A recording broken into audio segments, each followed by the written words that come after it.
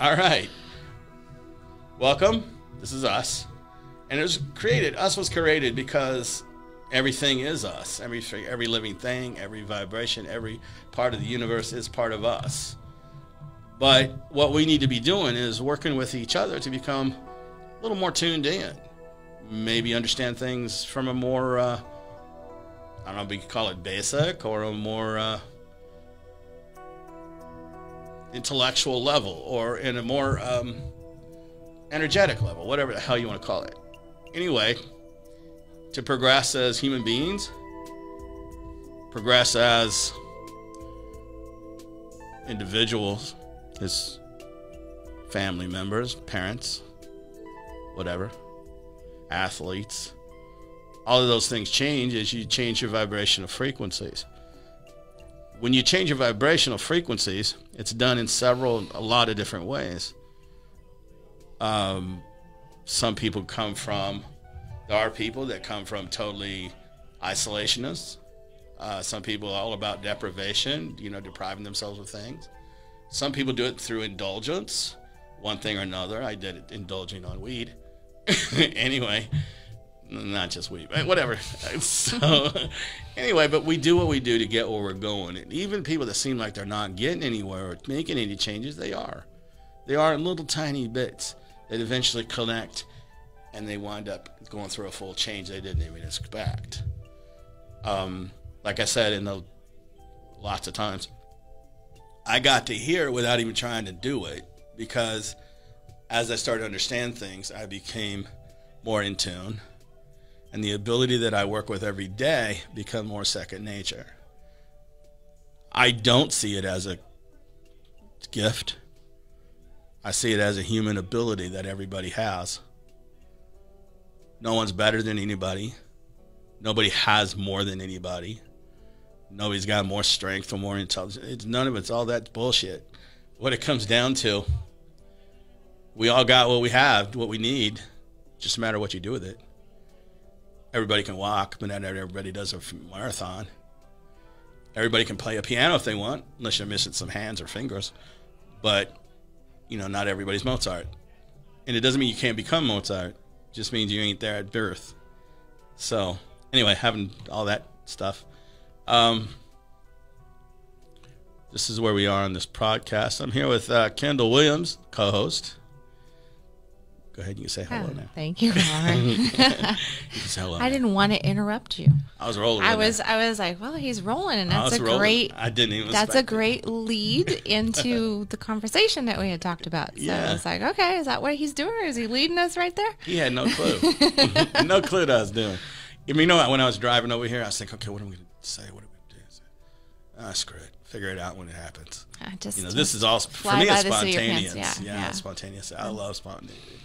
Anyway, that being said, uh, one thing is if a lot of you guys already know, she's pretty well known. So Kendal does uh, is really kind of an expert in the tantra field, and um, hell, I didn't know much about it. And then we were talking, and I found out there was a shit ton more things involved in that that I had no clue. And so we're going to talk about it now. And uh, so there we go. Let's talk about it now. well, I want to actually going to roll back to some of the things that you said before we roll forward into the sexy word of tantra. yeah. So, a, lot, a lot of people go, huh, tantra. Oh, tantra, yeah. Ooh, all right. This is gonna be a sexy conversation. We're gonna learn all about those positions and lasting longer, and Yeah. and uh, you know, full body orgasms and all that good stuff, right? Yeah, Full body's Get- cool. Yeah, get to that. But you had made well, you made conversation around you know your your lead in there was around your gift that you don't count as a gift, Mm, not right? And I was like, fuck yeah, it's not a gift, right? I was like, oh my gosh, yeah. And I've been around so many different people that believe that, you know, the, the gifts of spirits are only given to those who are ordained in a certain fashion or form, right? Yeah. Like that. And it's like, well, and depending on what side of the fence you're on, you could either be very demonic with your psychic abilities, or you could be highly gifted Yeah. with your psychic abilities. So it really just depends on what faith you're falling underneath, right? Yeah. But at the end of the day, you have the gift of sight.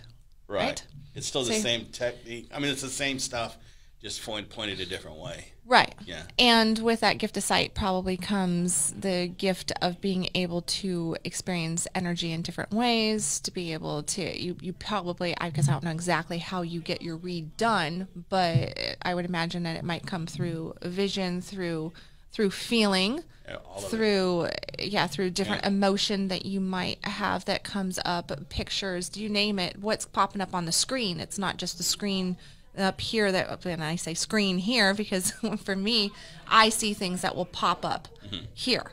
I also feel emotion. I also get extremely hot hands during, you know, my mentoring sessions or back in the day when I did more tantric work very, you know, extremely hot hands. So the laying on of hands that you would have, mm. all those gifts of spirit, you know, and it's like, well, what did I do to get here? Yeah.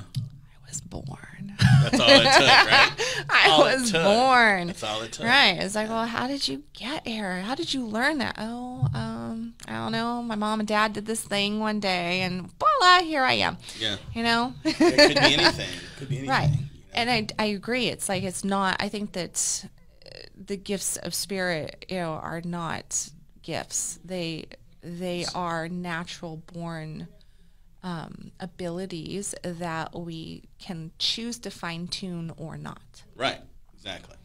Uh, now the thing about it is because it's not taught, you know, mainstream taught. Then we're up against okay, what's going to trigger it Right. that you're going to actually start, Right. you know, and uh, Typically some catastrophe. something. Yeah. My little boy quit breathing, Right. and I had to save his, his. I had to save him. He was only two weeks old. He's about this long, and he quit breathing. And uh, I was I was looking for some contract to kill people back then. I went through a little bit of a thing here. Anyway, I didn't actually do it. Anyway, um, he quit breathing, and I was holding him, and he was starting to turn color, you know. And I was patting his back and going through all this nonsense. And I was going, "You're a good boy. Don't die on me," you know. And I hadn't given a shit about nothing up to that point, or I didn't think I did. Mm-hmm. Next thing I know, I'm back in this on the back of this car. I'm patting him and I'm just tr- trying to come on. You're gonna be okay. Just coming, you know, begging him not to die. And this um, person yelled to me to do mouth to mouth on the kid. I didn't know till later you can blow a kid up that way. You screw their lungs. Mm-hmm. And I didn't. He didn't die, but I got him breathing finally. Mm-hmm. And I went into his bathroom because, well, we took him to the hospital. He was okay. He was he had born been born early, so he had some shit going on. And we brought him back, and the wife was feeding him. And I remember watching her feed him. and thought, God damn, he almost left. I, and all of a sudden, I was overwhelmed. I went to the bathroom and cried like a little girl for like a couple hours, you know, just totally. And I've been you know, I went into a search after that because I didn't want him to turn into me. You see, and um, so I started going into search on how the brain works. Why was I twisted? Because I knew I was twisted. I wanted people to hurt. Okay, so I started looking into different things and got into Dianetics, and you know, Dianetics is the, the precursor to Scientology. Right. I never got into Scientology. They always had their hand in my pocket. I wasn't into it, you know. but I did the Dianetics, and I was able to find out where the where things were going on, what was going on, you know.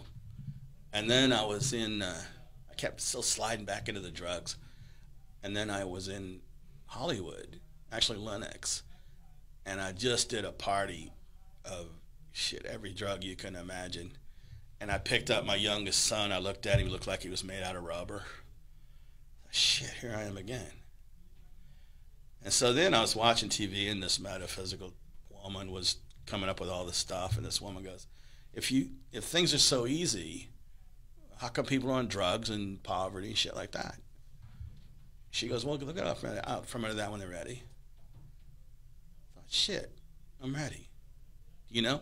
Mm-hmm. So I went and I got this trade paper, kind of like the Holistic Network was here. I forget what it's called either way, I had one of those. And uh, this guy comes up to me. He's in a robe and sandals and wants me to join his cult because he almost died. And I said, just go away, bro. really. Anyway, I get this paper and I open it up. It's like, okay, I'm gonna kill a hundred bucks. One side was a woman channeling. I said she can blow smoke, and I won't know possibly. This other guy was gonna do a regression, and I thought, shit, he gonna make me see things. That's pretty damn cool. It used to take a lot of money from LSD to get me to see things. Anyway, um, so I did it, and without going into the whole story, it uh, made me realize that the anger that I carried, the viciousness and everything, and was all about wanting people that didn't like me or whatever just to not want to say it. and that was how it was worked out, right? As soon as I got that, I kind of everything started to make a little more sense, you know. And it was something. It was such a simple thing, but everything started to make sense. And I was doing what we were talking about in the last one about those anger knots. Mm-hmm. Started working on that. and I started seeing shit, a lot of shit, to where I'm going, oh man, I'm losing it, you know. But it all landed here, and so it it was actually something that wasn't even in my plan, conscious plan. But here I am, and and again, this isn't a gift you know, it's just an understanding, or the way it seems to be. An understanding, but the frequency change that you Definitely changed. experienced to go from what we can call such darkness in spirit to be bogged down and covered up like that. Mm-hmm. The light that you were masking, your potential to actually, I mean, you wanted to destroy people in the world and now you help people in the world. The last I show you it. shared that you've helped uh, like 14, 15 people not commit suicide. You know, like if you think about it, how what potential just right there occurred in the world what could those 14 15 people that you saved what what have they gone on to do what kind of ripple did that make Yeah, in the world something to think about, yeah. that had you stayed in that darkness and made that decision to stay there to not turn to not be done Mm-hmm. with that what would have actually happened that to those 15 people yeah, you know, because maybe you were the only person that could have gotten them out of that. And because you got them out of that, they went on to assist others. And those others went on and on and on. So look at the thousands just with those 15, and the ripple effect. Yeah, just the ripple effect from that. And when you get into the energetic aspect of things, you know, it, we, we get caught up in the land of success and the land of, you know, like, I need to make this big, humongous impact. Well, you help one person, you make a humongous impact, impact, right? yeah. Because there is a ripple effect to that because you don't know what that that impact with that one person actually does. How many people does that person touch, and so on and so forth, and it just goes out. yeah, My path was, you know, you were asking about tantra and everything, and and my path, how because I've kind of what I refer to as going full circle, mm. and know, I was a little girl who um, liked to kill bugs. I had my circus of insects. I had a passion of just, you know, taking bugs and putting needles through them and making them do things. And I had my ring of fire and my shit. this and I, yeah, Wow. yeah, yeah. Like I got that side. I had that. I grew up with a daddy who had a gold claim and shot animals, and I've seen things gutted and dissected right in front of me, plenty. And you know, like I've got I've got all this different stuff, and I ha- love blood and guts. yeah. I am not the airy fairy, you know, lovey-dovey movie chick. I want, um, you know, I I like war. I like blood. I like blowing shit up. I love that. I'm very guy centric on Guy-centric. my on my on my movie watching and stuff. Right. Like, yeah, like yeah, let's get it out. You know, like ah, let's take the head off. That's good to me. Yeah. Which is not typically, you know, oh, a woman. Does it feel like a release though? it does. It's like there's I've I always proclaim I live in all this light and love over here. In order for me to be nice to you, I need shit dying somewhere. so you know, it's I got to keep the harmony the there. balance. I got to keep the balance of my world right. And so I'm not killing you for your stupidity. Instead, I am, you know, going to just watch watch this, you know, Game of Thrones. Mm. There you go. watch that. But what I was, you know, in in that growing up in a very natural fashion and just kind of being let to roam. I, I was very tomboy. Mm. I was let roam and everything. I also was extremely caring towards things too. There was Yeah. not just blood and guts and everything. You know, I I had a nurturing side as well, and I had my Barbie dolls and my paper dolls, and I loved to draw and did all that kind of stuff. And I had a lot of energy based things that I thought was normal. I didn't know that they weren't normal Right. because I was an only child. Yeah. And I grew up out in the middle of nowhere land, and I had one little friend, and that was it. And I didn't go to school until I was in third grade, so I really didn't have a scope of what normalcy was. Right. My best friend for a long time was a rattlesnake underneath a great big uh-huh. boulder, you know, like Right. until my dad killed her. Uh, I But see. yeah, see, that was mean. It I was, like, was. really, like, made, It made me very mad. I'm still mad at. I love you, Daddy, wherever you are. still mad about the snake. but mm-hmm. but I had a lot of I you know I I saw things. I had my imaginary friend. My mm-hmm. mom told me you're creative. You're a very creative little girl. And I thought, okay, well, what does that mean? You know, what does a 5-year-old know what the word creative really means? Yeah. The extent of it. And I remember taking trips that, you know, fast forward many years, get some psychedelics in your system. You're like, wow, I did that mm. when I was five and I didn't have anything in my system. Yeah. Right? That's like, I remember doing that stuff. And I was like, oh. And then, you know, I got into my teen years. Sex came into the picture. A boy came into the picture. Mm-hmm. A smart boy came into the picture who had this thing called Tantra that he was reading on and studying on and all that. And he, he was also into meditation and metaphysics and energy and ley lines and past life regression and all this cool stuff that I had been studying. I just didn't have the Tantra piece in there. Right. And so he kind of awakened me to the sexual aspect of energy because we were very focused on Margot Anand's book and, and her reading and her study and everything and learning about the sexual component of energy and connection work. So I thought for a long time, much like you, when we were talking, you know, oh, Tantra's about sex. That's what that is. Yeah. And as I grew and developed my understanding around it, I realized, oh, that's not, that's like, um, if you, and I refer to Tantra as an apple pie. I'm like, Tantra is an apple pie. And it is really just the sex component of it is one apple slice in the apple pie. Right. That's how much of the apple pie is sex. Sex.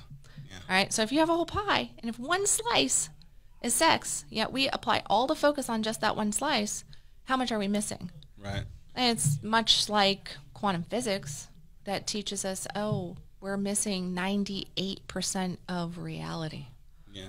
right? We only focus on the 2%. That's it. What is actually going on in the 98 that we don't see, which is the land that you play in, which is the land Yeah. that I've learned how to play in.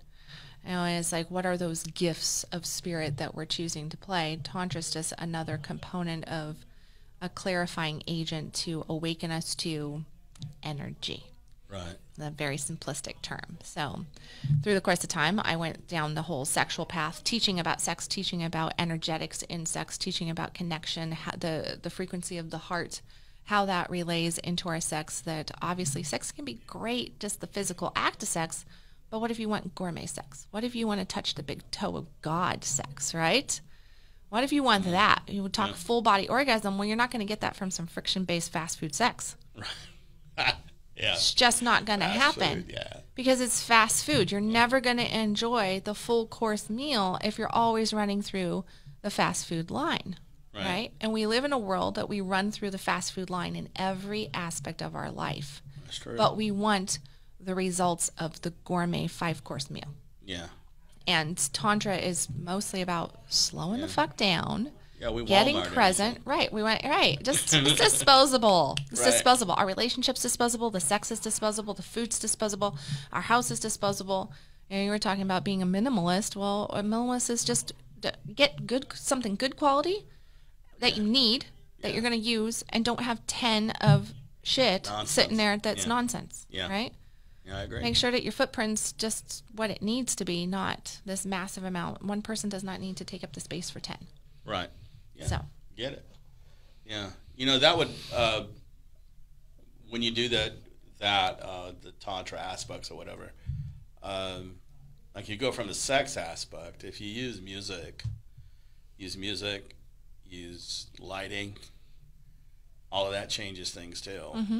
You see, um, there's actually a technique that you probably already do this, but where you can actually feel somebody touch you from the other side of the freaking world, Mm-hmm. and uh, it, it's pretty fascinating.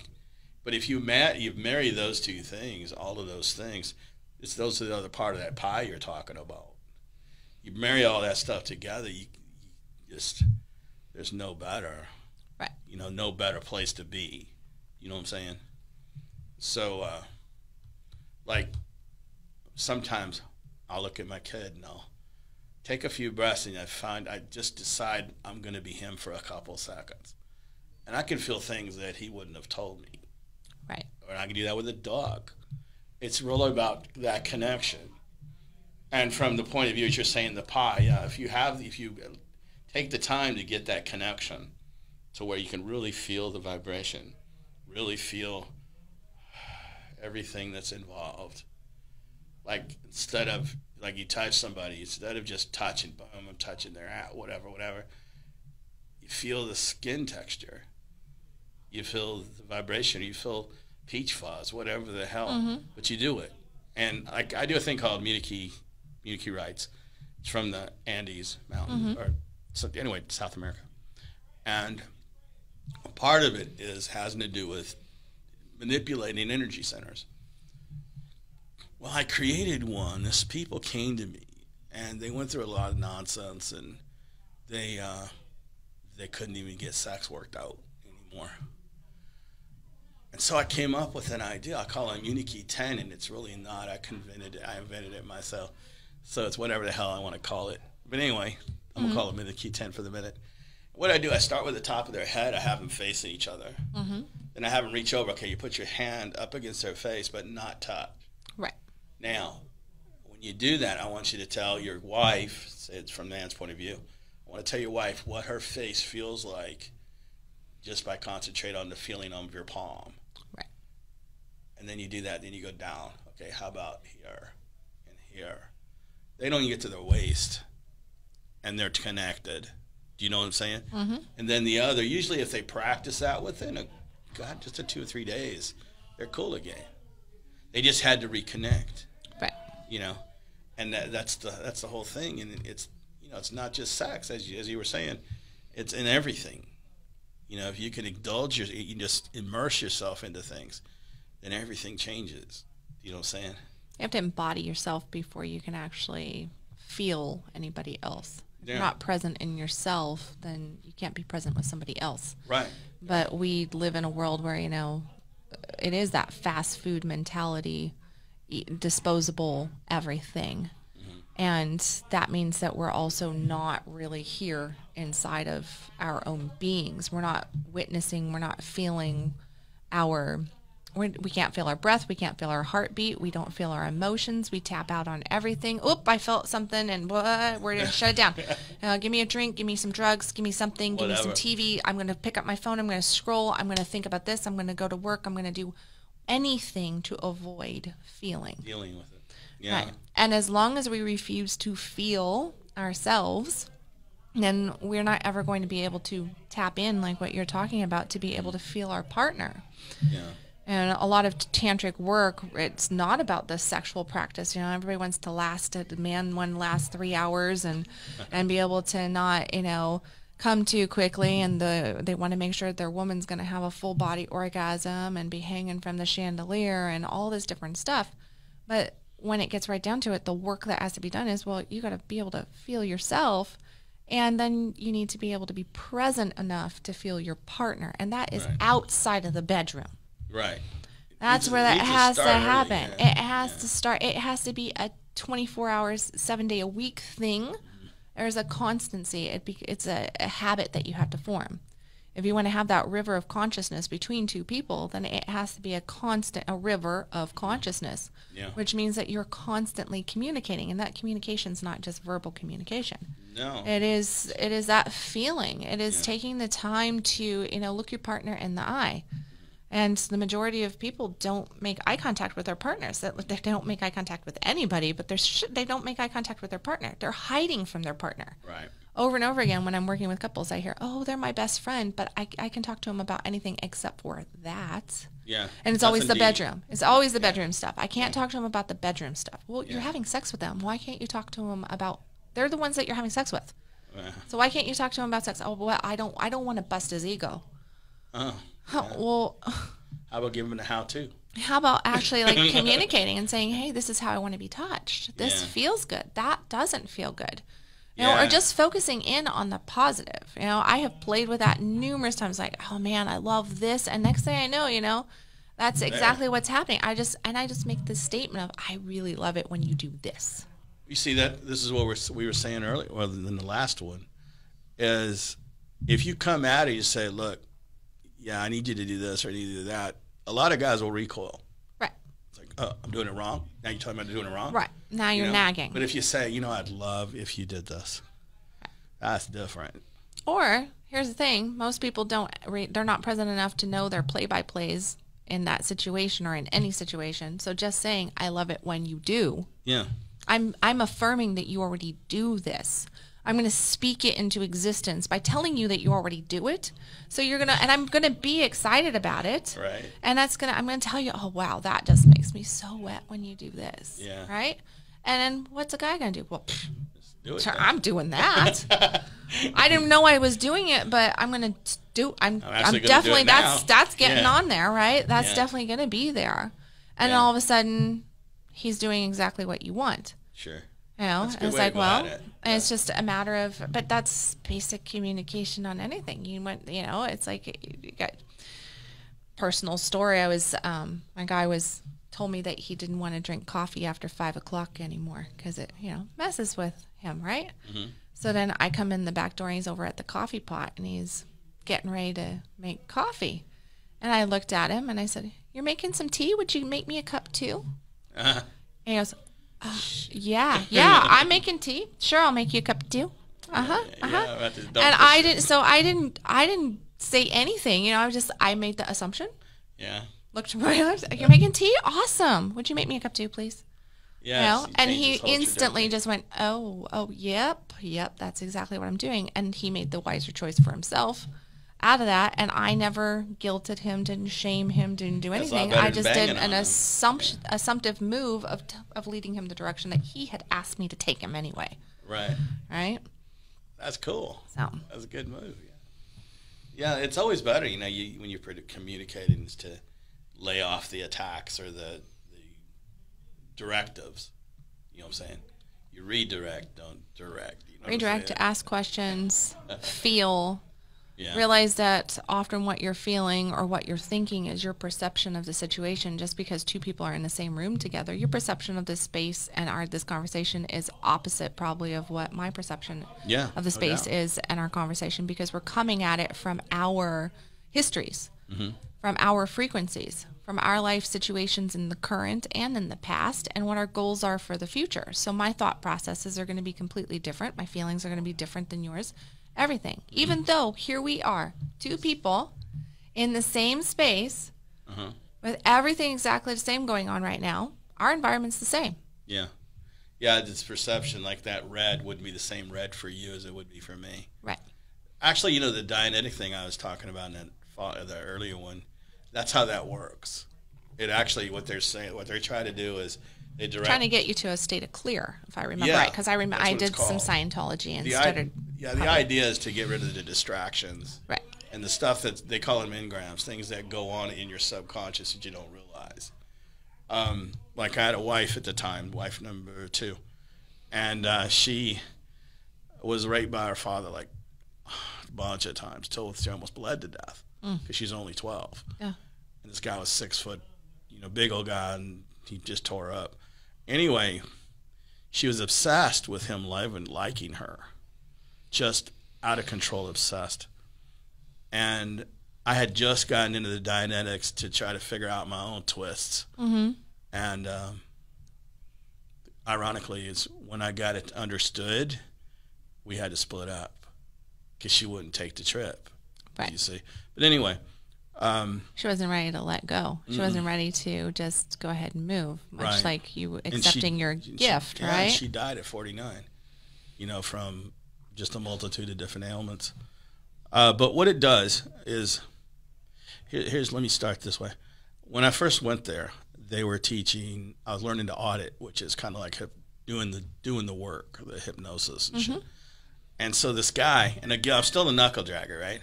So this guy hands me this tomato juice can, with all kinds of crap in it, like Legos and nuts and bolts and shit. He goes, "Show me how the mind works." Like what? Looking there, how am I supposed to do that? You know? And I just agonized over it. It was so stupid. But I was like, I was, I was just getting mad. You know, it's like, come here, man.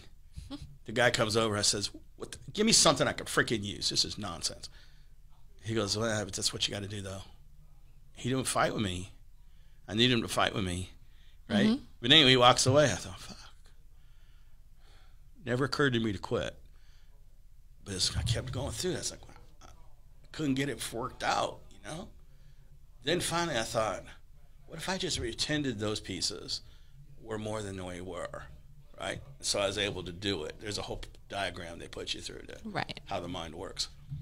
And so I got done. It took me 45 minutes to get it done, and it was only a couple moves. But by the time I was done, I was sweating and shit, you know. So then they took me to the next step where I had to do this process on this doll. They gave me a goddamn doll. and I'm from a background where if, if my dad saw me with a doll when I was a kid, he beat me to death. And so I've got this this doll, and of all things, it's a baby doll. And I'm looking at the damn thing. I got four lines to tell it. I go, close your eyes, take a shit. All right, take a deep breath, close. I couldn't get it going. I couldn't get it going, man. And I was mad as hell. I was raising all kinds of hell, causing a scene. It was crazy as hell. Give me something else. No, you got to do that. They never got mad. They stayed calm the whole time, so I had no one to fight with. Mm-hmm. Finally, after it took me an hour and 45 minutes, it took me almost two hours to do it. Finally, I got through that whole phrase. And it was like, oh my God. And I couldn't even, I, I was trembling. I was sweating like an animal, you know? And finally got it done. And I'm stand, I'm walking out in the hallway and I'm holding on to the wall because I couldn't even stand up very well. I was that wasted. And I'm going along the wall, and this guy comes up from this other side, and I had known him. His, they name, his name was Force, of all things. and I said, he goes, Well, it's not, I heard you did it. I said, Yeah, I did. I had to deal with a baby doll, man. He goes, Yeah. He says, I had to do a teddy bear, but I cleared that teddy bear. and that was nothing to him to say that. He didn't know what he, he was just talking. But as I walked, I thought, what the hell was I doing? I was having a fit over material and plastic. Mm-hmm. It wasn't a baby. It wasn't a, you know, it didn't mean anything. Didn't make me gay. Right. And I thought, how fucking stupid am I? you know? And I realized that I had been conditioned to see things a certain way, even when they're not. Right. And I think really, if I was to actually look at that time, that was a huge turning point because you don't go with the stereotypicals. You see what I'm saying? Mm-hmm. So that's a big turning point. The other stuff came later, but you know, It was all about how your ego was. It Yeah. was the ego challenge of facing the programs of your past. That and a program I didn't know I had. Right. Because if you look at it, it's just a doll. it's just a doll, It's and, it's, just a doll. and it doesn't even have to be a doll. It could be just a pile of thread and freaking, Right. just know. some Legos, just a doll. Mhm. Not a Yeah. big deal. And so a lot of my work when I do the intuitive stuff, like I'll see something and um, I'll see a guy with his head down, for example, in a vision, and it quit being a guy with his head down and start becoming a depression or a heavy energy or depending on how it felt with something else. Right. Like I'll see a picture and I might feel pressure here, which will tell me that pressure and that picture was significant. Mm-hmm. You know and so i started read you know at that point started reading my whole body and which is what you're saying with this tantra it's the same thing it's like you're getting all of yourself involved Right. yeah Well, Simple. and if you're really wanting, you know, if you take it back to the sexual aspect of it, if you're wanting those mind blowing orgasms that touching the big toe of God, you have to have your whole self in it. Yeah. And you need to fully be able to unite with another person and Mm. them have themselves fully in it. Yeah. That's the only way you're getting there is two people be two complete people, whole beings Whole beings. Yeah. coming together in their wholeness Right. and uniting and that's you know and being able to communicate at that level inside and outside the bedroom then that's where that energy transference comes in. As long as we're sitting around and we're looking at partners as though they are to complete us they're to fulfill us they're you know i'm broken i'm broken i was Yeah. raped i'm broken i lost my house i'm broken i lost my job i'm broken because of this this this this this. The world always beats me down the world always abuses me whatever those programs are. I'm not good mm. enough i'm not worthy enough i'm not lovable you know nobody cares Right. i'm only whatever whatever. We have a million and one right. of those but as long as we're running around we're like well but when i'm around this person i feel fulfilled i feel loved i feel this that sounds great but we're actually taking all of our personal power and handing it over to somebody else and Yeah. then when that person goes away we're still broken Yeah. because th- everything was dependent on them. In the land of Tantra, it's really about self fulfillment mm-hmm. and not, I'm going to be get fulfilled from somebody else. I'm going to find that self fulfillment in myself. I'm going to become the apple pie. Yeah. And I'm going to see how all of my life is woven together, which is mm. what Tantra is all about. It's the woven, the wovenness of all of life. It's like life is a great big tapestry Absolutely. sex is one string in there or it's one segment of string right and but the picture of our life is everything it's you know all those components if we start to unravel any pieces of it it's going to play a role in the whole tapestry Sure. right Yeah. so we live in a world where we compartmentalize everything. And it's like, here's my work, here's my mother in law, here's my dog, Mm-hmm. here's my fitness, here's my this, here's my fear over there, here's sex, here's spiritual stuff. Whatever it is. Here's, Yeah. you know, I'm political on views on this way or that way. We keep it all in these nice little tidy boxes in our head. Yeah. And then we, for the most part, close our emotion off to most of it Right. except for the things that we are the most comfortable showing emotion around, which in today's world is a lot of anger, Mm. right? Yeah. We're quick to anger, we're quick to blame, we're quick to finger point on different things. Well, you don't you, don't you think anger is misunderstood? It's a You know, it's- subcategory emotion of sadness. We're Yeah. not happy with something with ourselves. Typically, we're not happy with how we're showing up. We have no purpose. We Mm-hmm. aren't fulfilled.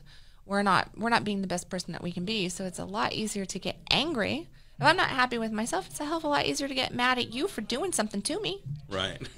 yeah. right? Yeah. Even though you didn't do something to me. You just, Just said, proceed. "Hey, you know, really you already finished that water?" Yeah. What what do you mean? You know, what you're saying that I'm, you know, A Walker Right. waterholic. right like whatever you know but we we are really quick to anger and it's because we see the world attacking us Yeah, but we're also taught that anger is strength. A lot of people, my dad used to think that. It's like, is you can beat this ass, beat this guy's ass, that makes you more of a man. right You know, um, he taught that. I mean, when I was a kid, he used to tell me, he goes, like, I didn't get thrown out of school, and he goes, "You haven't been suspended. What's the problem?" so, well, I didn't do anything. You haven't been fighting. No. oh don't have to fight Yeah, he said to me, he goes, "Why not?" Well, nobody's mad at me. Right. Yeah, he goes, "You've been running." Then he goes, "If you've been running, I find out I'm gonna beat you bloody."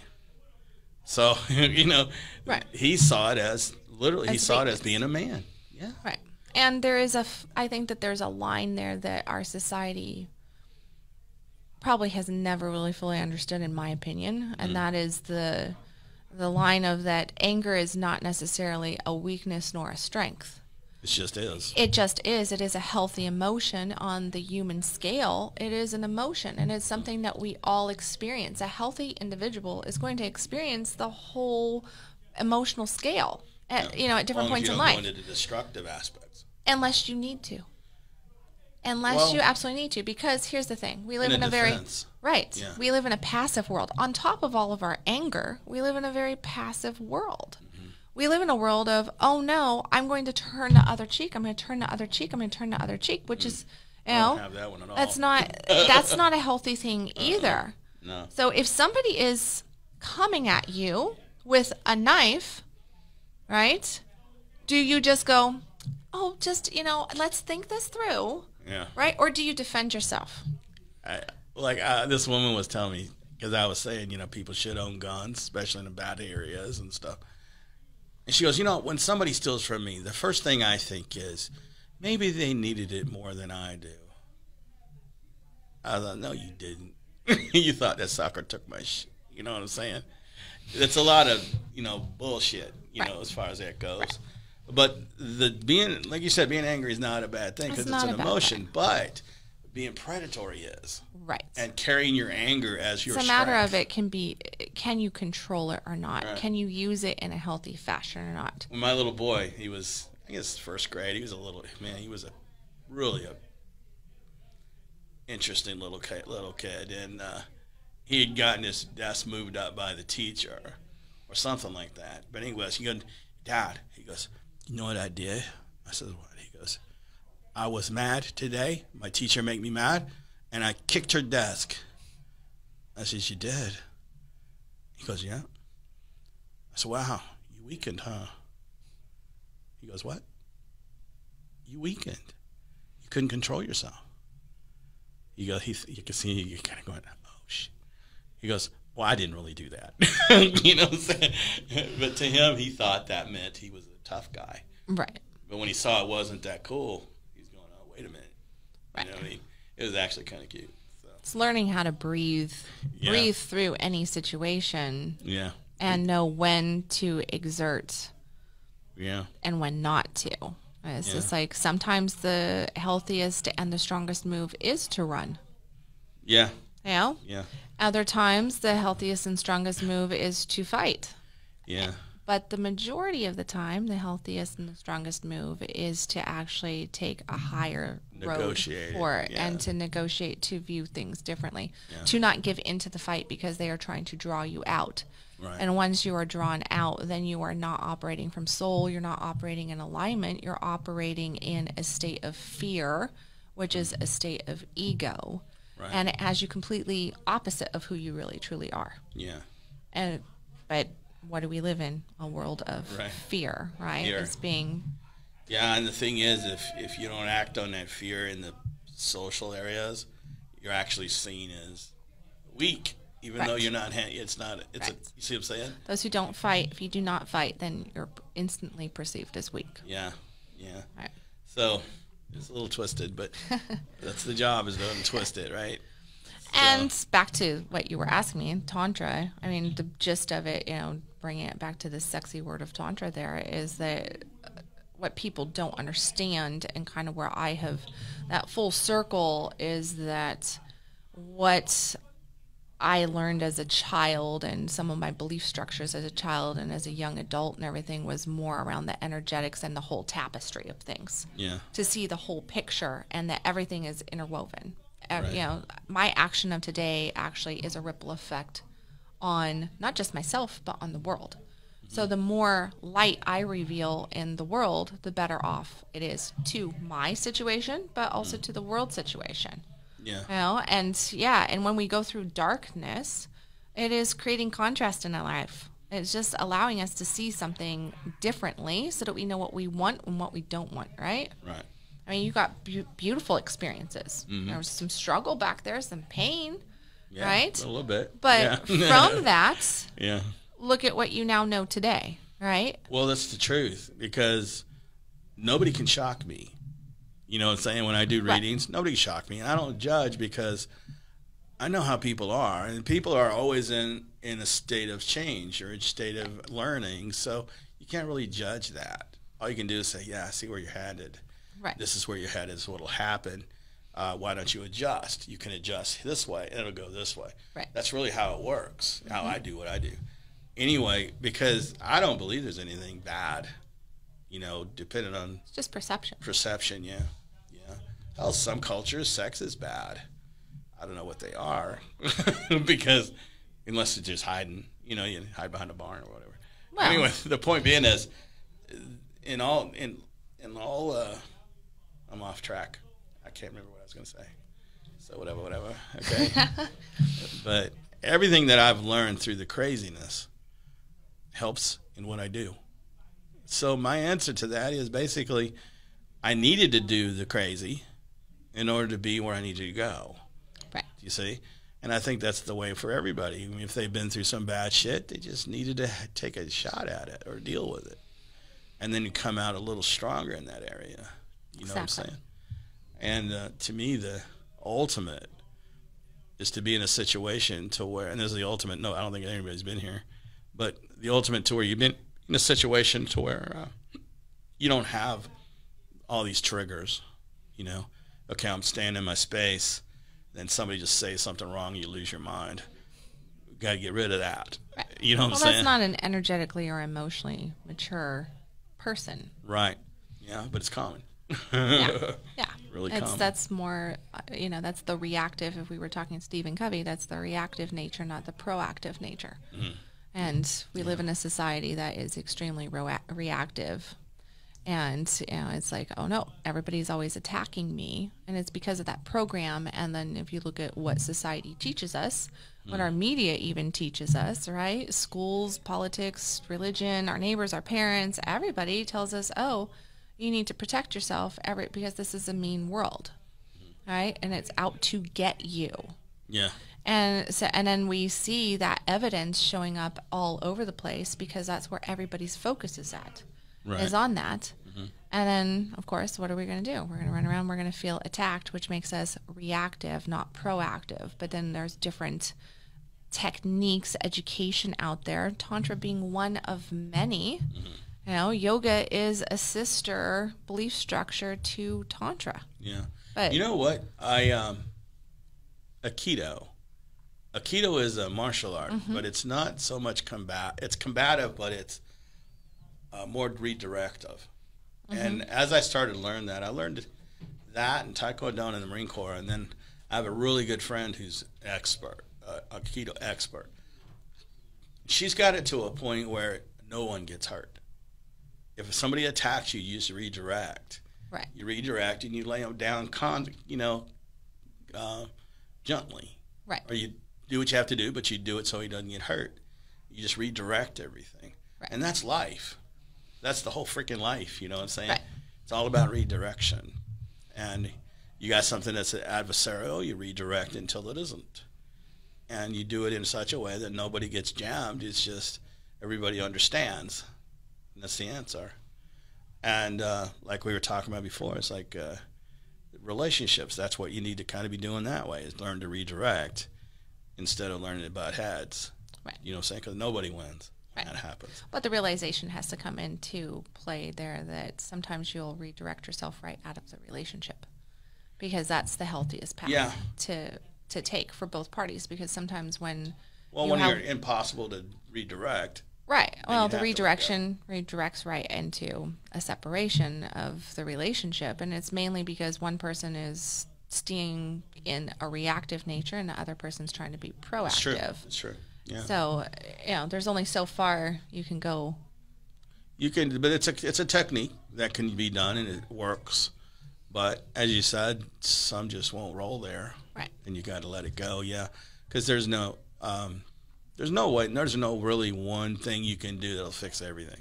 Right. You know, all you can do is redirect, redirect, and then if it gets where you can't reconnect, then you have to let go. You know, and uh, I actually created a prison system that I'm putting in a book right now that is based on redirection, and it, it's based on really no retaliatory stuff. Mm-hmm. But it's taken somebody that's super aberrant, you know, super predatory, dropping them down into the infantile environment, meaning everything is done for them and they have to be watched, everything they do. And they have to graduate. They don't get out in three years for sure, 10 years for sure. They graduate Okay. and a guy that's wrongly accused of of murder, for example, Right. in my system could come out in under three years, and a guy that isn't it was did actually do it, he may take twenty. You know, and uh, anyway, I don't know. I'm talking about this basically because what I'm saying is if if we redirect people that say the real destructive folks, just redirect. It's like okay, look, this is where you are, and this is what it's done. So since you can't control here, let us put you in a safer place to where you can't get in trouble. Now, as you learn what you need to learn, you give them the tools. Uh, in the system that I have, they do six hours in academics six hours in uh, in uh, psycho- psychology, you know, psychological. And as they use these different tools, then they can graduate, and they know that if I do this, then I'll be able to do this. And then they find their way out. It's just a mm-hmm. graduation because mm-hmm. you can't just take someone. Okay, you did this. So I'm gonna beat the crap out of you, and you're gonna come out better. No, you have to redirect the thinking. Mm-hmm. Just like in, in sex, you got to redirect the thinking. You can't force anything going either way. You see? In politics, the same thing. You can't. Peckerwoods, they, they're not doing anything because they just beat each other up, right? And they have no has nothing nothing to do with us, right? You know. So you have to we have to redirect the politics even. Okay, we got to bring people in that are a little more more elevated in their thinking. We have to put them through something that. Uh, you know, they know that if they go too far this one direction, then it's not going to be good. You know, but they have no checks and balances. So everything has to be redirected, and that's just the way it seems like to me. You know what I'm saying? so, I mean, whatever, whatever. So, anyway, so what do you mostly mostly teach now? You know. Now I am really just focused on life, happiness, on abundance really learning. I've been focusing more on what I refer to as prosperity lifestyle coaching. Mm-hmm. And it's focused around just creating a not for anybody who doesn't want average and ordinary in their love, their money, or their life happiness picture. Yeah, I'm extreme. And it's just like just yeah, just really focusing in on the principles of manifestation. You know, the thought, how our thoughts and emotions direct our whole life mm-hmm. and how we can not have those triggers and so, release the emotion that's stored in the physical body. So, do you have a program you put them through, or do you just counsel? It's a lot of intuitive work. A lot of work, yeah. A lot of intuitive work. I do have courses that I have online that are scripted, you know, for the basics to get somebody through something. So, if somebody can't afford my private services, then there are options to get them to that next level, next level sure. out there but yeah, a lot of the times when I'm working one on one with somebody, it's just very focused on it's the intuitive of what's coming up, and then just calling them on their shit, right? And yeah. you know, right there, just call it on there, and then dealing with you know the different things that are coming up. Oh, well, that's you're feeling this. You're that's the emotion there. Well, this is what that means. Mm-hmm. How does that relate to the thoughts that you're thinking right now, to your actions right now? You know, yeah. how are you in? You say that you want this, but is your belief lined up with your desire? Right. Oh, well, yeah, yeah, I want it. I believe that I can have it. Is that true? Because it would be here. Yeah, you'd already be doing it. Yeah. It'd already be here. The lover would be in your bed if you actually believed you could have the lover in your bed. Right? Yeah. But you don't believe that you can have the love. Well, you, no, I had, you know, I was with somebody last week. Yeah, but you hated that person. You know, they were an ass. You just got done telling me about how you felt used and abused in that situation, that they were not the kind of person that you wanted to draw into your life. So what's up with that? Oh, the last five people you told me about was that kind of person right there. Yeah. So what's the actual? So you believe that you can have the lover in your bed, but you don't believe the lover that you want can right. be in your bed. Yeah. Where is that at? How do we remove that? Let's let's become the person, so that we can have the person. I like that. That's cool. Yeah. So. I, anyway, whatever. Um, like well, this what I what I do. The first thing I do is uh, my issue is I have to break them bring them into intuitive possibilities. You see what I'm saying? Because mm-hmm. if people use their intuition more, more, they would get less bullshit less. Right. You know. And the first thing I have a couple things that I have them do. One is I teach them uh, when you think of a person, what animal would they be? And it's like animal, what? You know, and they ultimately go, what do animal would I be? You know, I told this one, you, you're a cow, baby, and it wasn't a bad thing. She wasn't, you know, a cow, but what it meant was she was kind of methodical in her movements. Right. Uh, she was not easily freaked out. You know that that's what it meant. As soon as you figure out what animal it is, then you figure out the characteristics that fit. Like um, I know a guy who used to go. Uh, he says sometimes he's from France. Sometimes I feel like I'm the snake crawling around behind the people.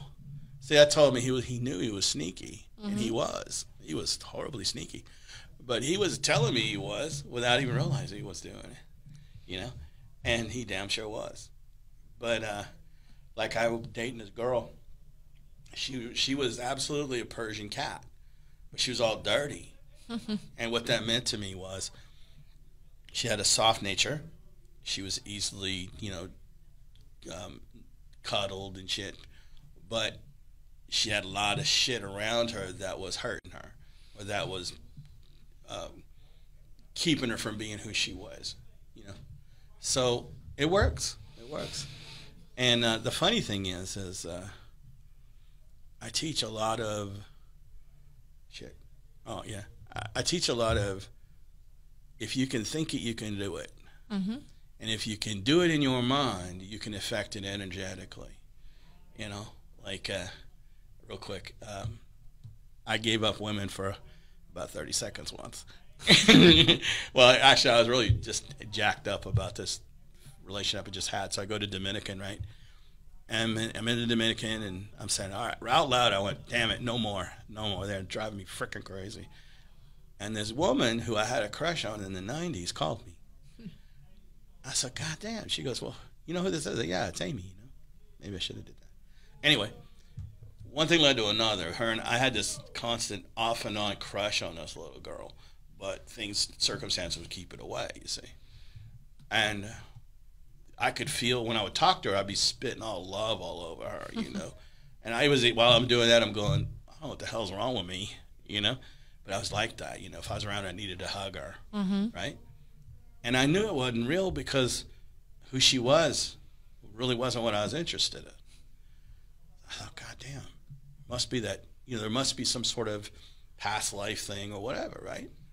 And so our past life means, okay, if I'm dealing, if I'm attracted to her for no particular reason, or because, and it's conflicted of our in, involvement, then it must be something outside of this reality. Right. Okay, so I decide, okay, then what needs to happen, we need to synchronize that with now or it won't work. And it was driving me goddamn nuts. And this wasn't that long ago, you know, about four or five years. Anyway, so I decided I was going to put the early relationship inside of a bubble. Mm-hmm. This is actually a shamanic technique. Well, a derivative of a shamanic technique. I put the energy, the relationship inside the bubble. I imagine seeing the energy work the relationship working around inside this mm-hmm. bubble, and I put it over here. You know, imagine it over here. Mm-hmm. When I did that, I didn't feel any less conflicts no more. And I said, okay, I know what's going to have to happen. This is actually going to come together, or it'll end it.